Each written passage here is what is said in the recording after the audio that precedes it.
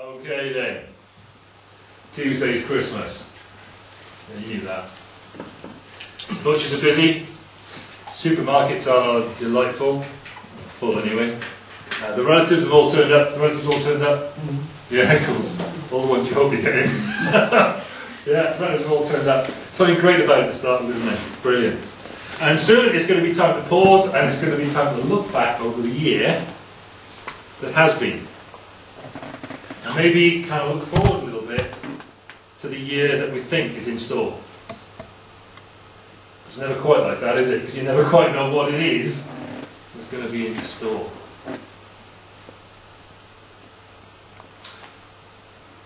So what will have changed going into that fresh year? What will have changed because of our Christmas? What will be different because of Christmas? We've all at the Bible reading about Emmanuel, God with us. We looked last time we were here at the setting from which that prophecy of Isaiah sprang. The Old Testament history in which we find it, and we, we look at those bits and pieces from the British Museum that relate to it and so on, the inscriptions and stuff. But as a few of you probably know, I've been working my mind this Christmas around this question of just what it means for God to be with you.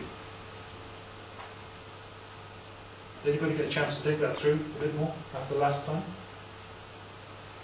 Does anybody want to carry on for me? what does it mean for God to be with you? Practically, how does that work? I know a couple of us have had the sort of experience this week where it's been very important for us to know that God is with us. And, and maybe there are things we could come back and we could say, well, actually, X, Y, Z this week, and that could have been chaos, but you know, God was with me in that, and that made a big difference for me.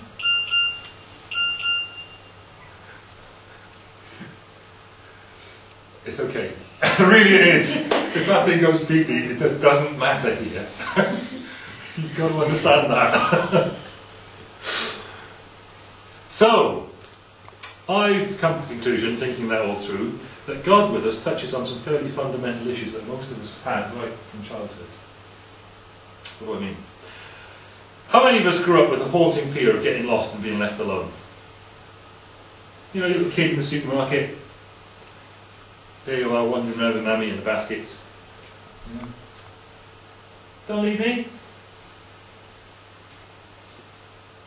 God is with us, we're no longer alone. There was a famous gangland leader called Nicky Cruz that some of us will have read the book of uh, in New York in the 60s.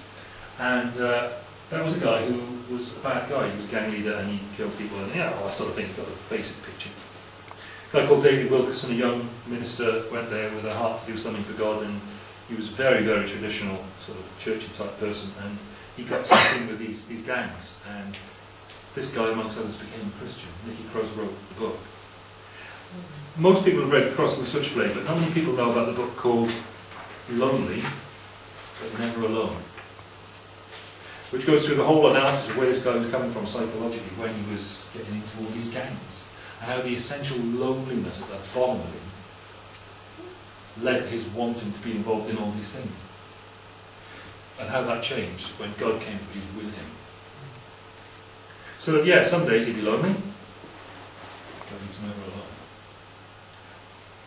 And that thing in his heart that had driven him down such a self-destructive and sociopathic way of dealing with that personal loneliness was met with as Christ came to be with him. No more alone. Mm.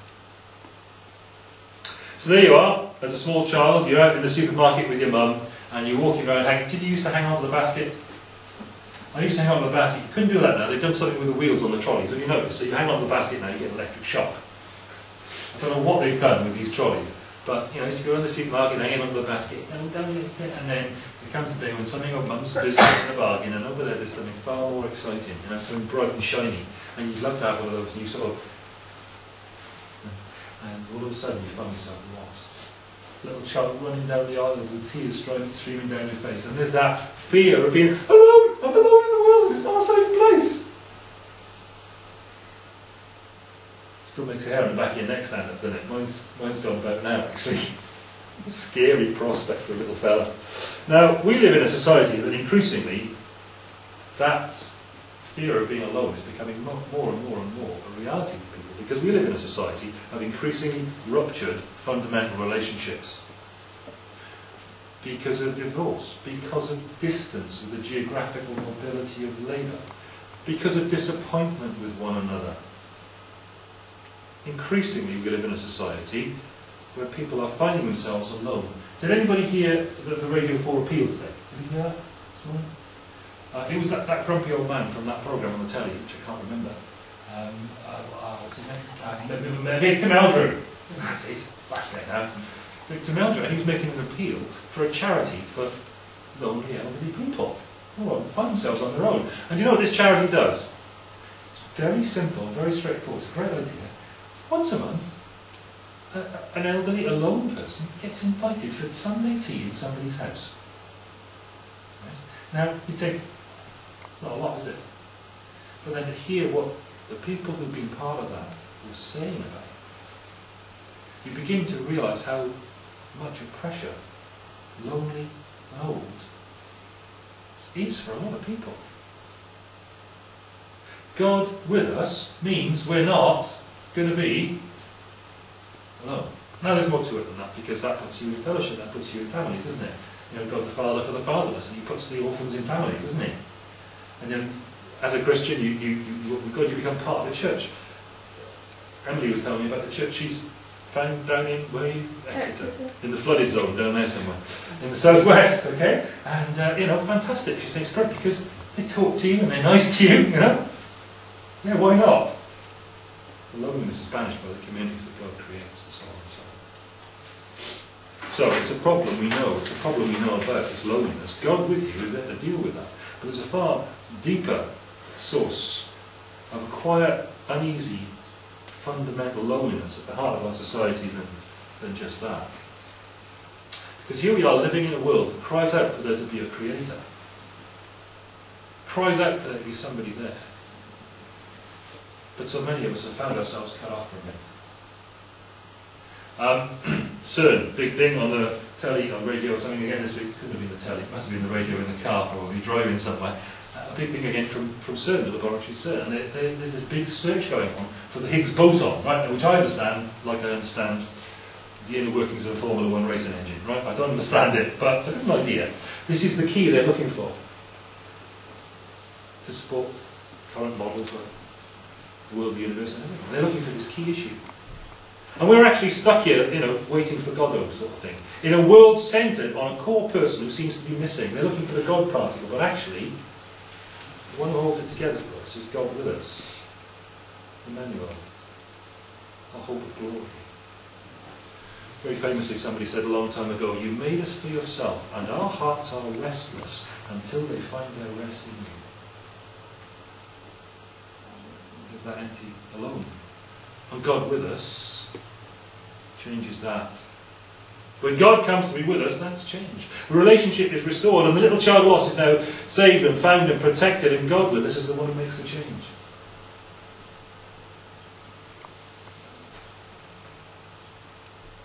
God with us impacts that fundamental issue we've got in our society, and it's a big one, and it's costing society quite a lot, as well as individuals quite a lot too.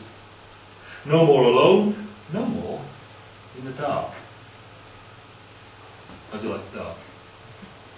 I've grown to like the dark, but I didn't like it to start. And I don't like total dark. I like there to be stars in the sky. Do you know what I mean? It's a big theme of Isaiah. So Isaiah 9 famously speaks about the people who walk in darkness, having seen a great light. On those living in the land of the shadow of death, a light has dawned. For to us a child is born. That's why to us a son is given, and the government will be on his shoulders, and he will be called Wonderful Counsel, and Mighty God, Everlasting Father, Prince of Peace. He's more than a baby. He's more than a baby. The government will be on his shoulder, and that's where light dawns for you.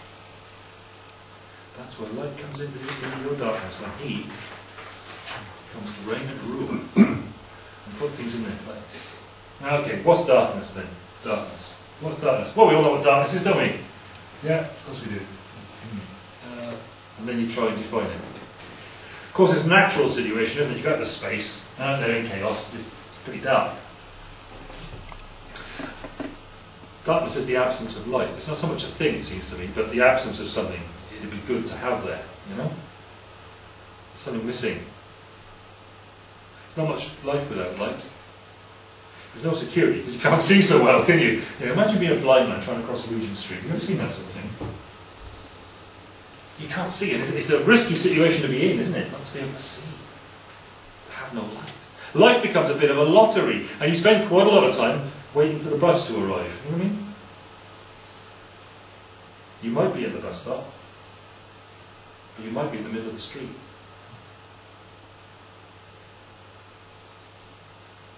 Again, it's a fundamental human fear from, from childhood. I had a kiddie light when I was a kid. Did you have one of those plastic lights? I had a noddy one. it was noddy in his car. Inside was a sort of a 15 watt bulb or something. Just couldn't get to sleep with, with, a bit of light. Very early age, kiddie light. Calling out in the dark. You're afraid of what might be there. And without Christ, human life, art, literature, philosophy is like a child calling out in the dark for somebody to be there. Or not. Situation of sensing your own vulnerability because the dark conceals threats and the dark conceals dangers. It conceals many a thing that's not actually there, but we're afraid of anyway because we can't see that it's not. Can't see, you do tend to be vulnerable. And it leaves you in a state of um, confusion, because you can't see the way, you don't know what's there, don't see the reality, so you don't understand it. Leaves you floating in a sea of confusion and disorientation. Not, of course, that anybody else would know. you become socially very capable of pretending that we've got this together. We've got it together. We're cool. There we stand, pretending in the dark, and here comes Jesus, the light of the world, banishing the darkness. And the first thing that shows up is we're pretty, pretty weak and vulnerable. So Emmanuel, God with us,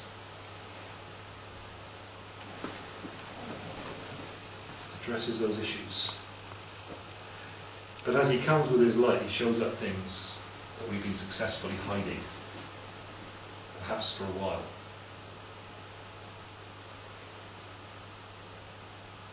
He comes and he basically addresses things that eat at the, at the things that decay the quality and the values of life. But as he comes, he comes with light. And the light shines in the darkness, and the light reflects back at you off the cobwebs of the things that have been happening in your life until now. And here, perhaps more than anywhere else, our actual fundamental problem might not be quite as we've assessed it before, because God with us shows up these issues. How destructive of all that matters is human guilt. Now, of course, it makes you personally feel bad, doesn't it? It can eat away at you. Guilt is not dealt with, it can eat away at you. No question about that. Of course, it eats away at you personally, it makes you feel bad. But what it also does, in, in, in my experience, is this I've seen this time and again it gives you responses that really don't help in your life. It gives you perhaps defensiveness and what looks like spikiness and an aggression as you snap back at people in self-defense. Because you know there's something wrong. They don't know that yet. You're pretending still, okay? But, but they can't work out why you're being so spiky. It wrecks relationships and it ruins lives and it, it makes God with us to blot out guilt. It makes that look a very good option indeed. Again, fear of, of guilt is a fundamental human thing from childhood, isn't it? Who wants to be a bad boy? Girl. We all want to be good boys and girls, don't we? It was something really odd, when I tell you, that Caleb was watching when I walked into the room last week with a little boy who, who didn't want Father Christmas to come because he'd seen Father Christmas kissing Mummy on Christmas Eve. And it was Daddy dressed up, you know, you get the picture. It's actually Thanksgiving. So, so he, he realised that if, um, if he was a bad boy, Santa wouldn't come because he'd been told. So he went around trying to be a bad boy so that Santa wouldn't come, so that, you know, Santa wouldn't have an affair with Mummy and, you know, this made a film which entertained for a while. Have anything to do with it, to be honest. But It took a month for him to be so naughty, and then? Santa still came. there you go. There, Santa still came because he lived there. Um, but still, you see the general problem. This little boy was trying to be bad, and that was just such an aberration. You walk in the room, he glares at you because most kids don't want to do that. We don't want to be in a guilty position. We don't want to be there. It's a fear we've had from childhood. You know, the drink driving ads this Christmas. Have you seen those? Briefly saw one or two drink driving ads this Christmas, and they're all getting this fundamental human fear. We don't want to be guilty of that.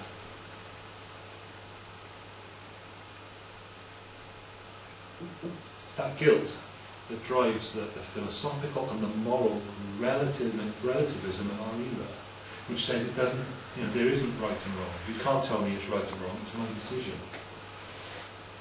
Because the trouble with right and wrong is you can't live without it. You can't live without right and wrong. If you're going to live with other people in society, then you've got to have some clear idea of where the barriers are, where the boundaries are. You've got to know what's going to be right and what's going to be wrong in that situation. You've got to know where you are with that. Um, a story I've told many times about my, my tutor at university who, who, uh, who was arguing this, this case that there's no such thing as right and wrong, it's all sort of relative. You know? uh, and I was having a tutorial before dinner with one of the college lads that came about, and uh, just looked at each other, we got absolutely nowhere with this line of argument with our essays and stuff, uh, looked at each other, got up, walked off and helped ourselves to a sherry. At which point he protested because this was wrong. It's not wrong to us, we're fine.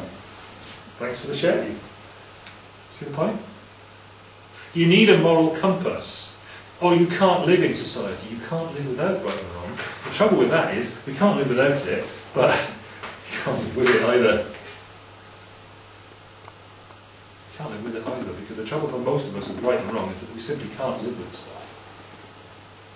And the big point about God with us is that he came to address this issue. God with us comes to address that issue, an issue we don't reckon on as being our biggest of problems, but that every day causes us so much of our grief.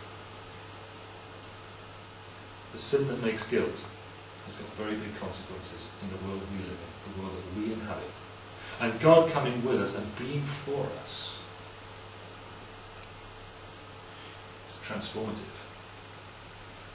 God comes with us to address all these things, day by day, street level stuff. Heaven comes down to be with us for these things, to address these very issues. So you won't be alone. You'd be amazed. The big, strong, capable guys had that conversation. So we're not in the dark. You'd be amazed apparently very, very worked out, sorted people had that conversation. Guilty. Again. Christ comes down to address these issues, to be God with us, and as if to say, come on, we can sort this out. Let's get back on track here. I'll be with you. How? How did that come about? Very, very briefly. Our fundamental problem, of course, is as, as, as we've been defining it. Very common in this life to find our fundamental problems are not quite what we think they are. Everybody's got an analysis of what would make the absolute difference so that their life was completely different.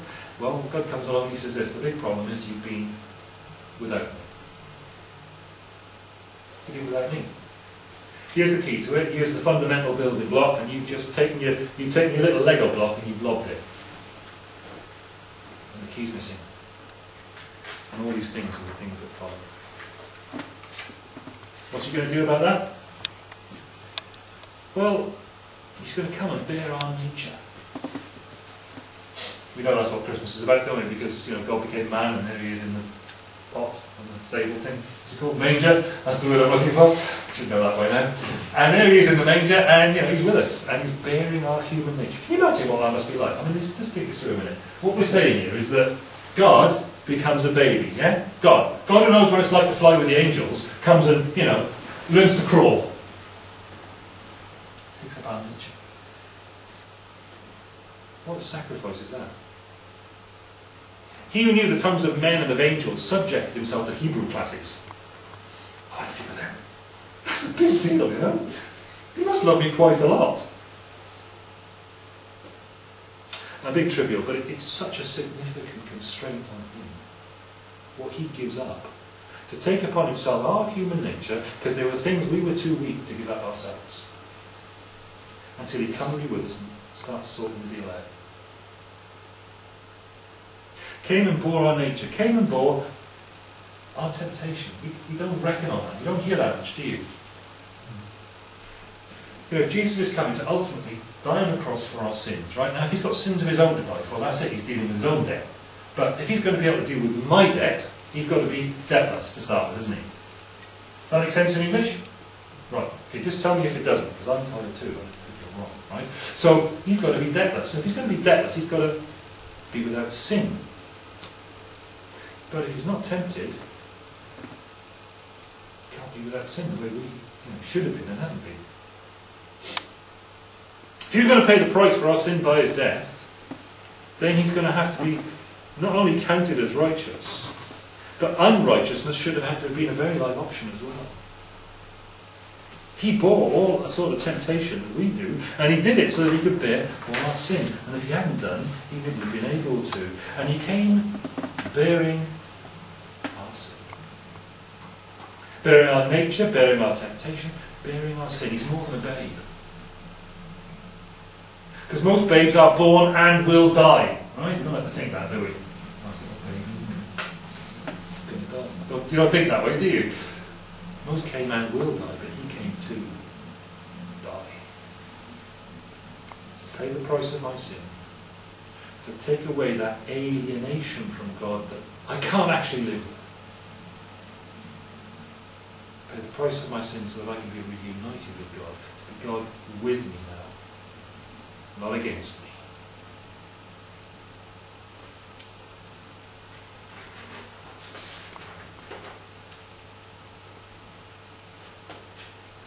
conquering death.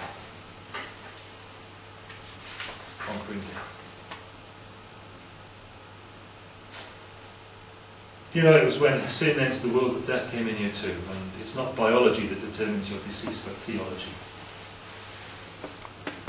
There are people out there trying to work on ways to, you know, make us live longer.